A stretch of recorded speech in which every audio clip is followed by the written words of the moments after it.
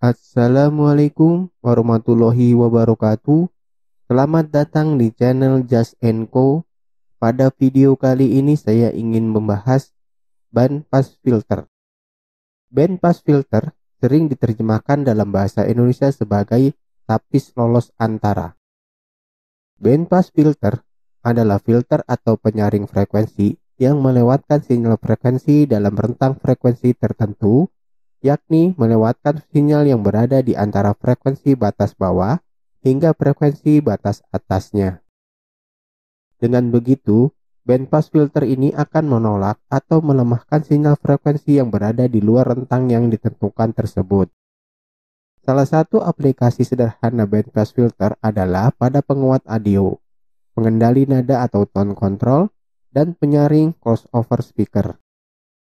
Pada rangkaian-rangkaian tersebut, terkadang hanya perlu melewatkan rentang frekuensi tertentu yang tidak dimulai dari 0 Hz atau memerlukan sinyal yang berakhir pada suatu titik frekuensi tinggi tertentu. Sebuah band pass filter pasif yang bisa meloloskan rentang atau pita frekuensi tertentu pada dasarnya bisa dihasilkan dengan cara menggabungkan rangkaian low pass filter atau tapis lolos bawah dan rangkaian high pass filter atau tapis lolos atas. Berikut adalah rangkaian bandpass RC filter. Jadi di sini rangkaiannya menggunakan resistor dan kapasitor. Ini ada dua rangkaian yaitu untuk HPF atau high pass filter dan LPF yaitu low pass filter. Rangkaian HPF ini berfungsi untuk melewatkan frekuensi di atas batas bawah. Sedangkan LPF ini adalah berfungsi untuk melewatkan frekuensi di bawah frekuensi batas atasnya. Berbeda hanya dengan loss pass filter atau LVF yang melewatkan sinyal frekuensi rendah dan melemahkan frekuensi tinggi atau high pass filter atau HPF yang hanya melewatkan sinyal frekuensi tinggi dan melemahkan frekuensi rendah Band pass filter ini dapat melewatkan sinyal pada pita atau sebaran frekuensi tertentu atau melewatkan sinyal di antara batas frekuensi yang ditentukan.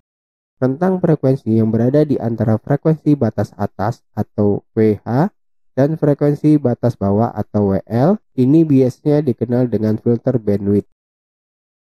Bandwidth umumnya didefinisikan sebagai rentang frekuensi yang berada di antara dua titik batas frekuensi yang ditentukan, yakni 3 dB di bawah pusat maksimum atau puncak resonansi dan melemahkan frekuensi lain yang berada di luar dua titik batas tersebut.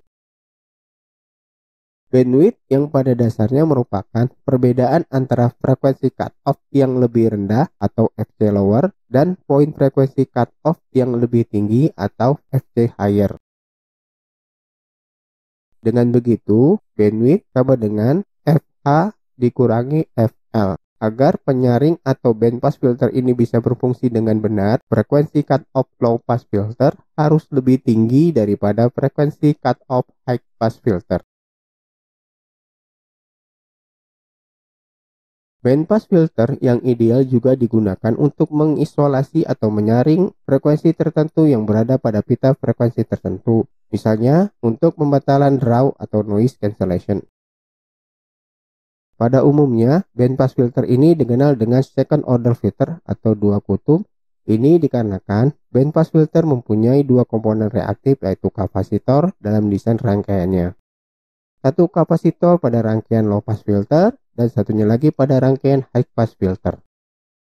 Berikut ada rumus yang digunakan untuk menemukan titik cut off frekuensi dari rangkaian RC yaitu F sama dengan 1 dibagi 2V RC di mana F adalah frekuensi dalam satuan Hertz, V adalah konstanta dengan nilai 3,14, sedangkan R adalah nilai resistor dalam satuan ohm, dan C adalah nilai kapasitor dalam satuan farad. Contoh kasus, ada sebuah rangkaian bandpass filter yang dirancang dari komponen RC yaitu resistor dan kapasitor untuk melewatkan frekuensi di antara 1 kHz atau 1000 Hz hingga 20 kHz atau 20.000 Hz. Kedua resistor yang digunakan pada rangkaian yaitu masing-masing 10 kilo ohm. Hitunglah kedua nilai kapasitor yang digunakan pada rangkaian tersebut. Berikut adalah gambar rangkaiannya. Jadi di sini untuk rangkaian high pass filternya ini R-nya ini menggunakan 10 kilo ohm. Lalu untuk rangkaian LPF-nya menggunakan 10 kilo ohm. Lalu ditanya berapa untuk kapasitor untuk rangkaian HPF, ini sini sebut C1 dan berapa nilai kapasitor untuk rangkaian LPF. Di sini adalah C2. Yang pertama kita hitung dulu kapasitor untuk rangkaian HPF-nya. Jadi diketahui V-nya adalah 3,14. R-nya adalah 10 kilo ohm atau 10.000 ohm. F-nya adalah 1000 Hz. Karena ini adalah kita mau hitung batas bawahnya. C-nya sama dengan 1 dibagi 2 RC. C sama dengan 15,9 nanofarad. Jadi kapasitor untuk C1-nya adalah 15,9 nanofarad.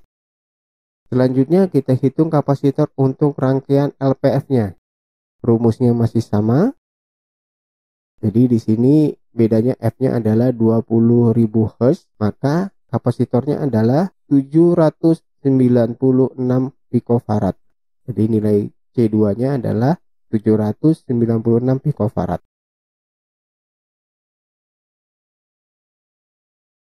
Berikut adalah rangkaian yang sudah ada nilai kapasitornya. Jadi sesatunya 15,9 nanofarad, C2-nya adalah 796 picofarad.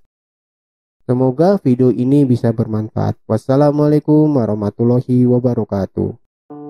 Jika Anda nilai video ini bermanfaat, silakan klik subscribe like, dan share agar tidak ketinggalan video bermanfaat lainnya.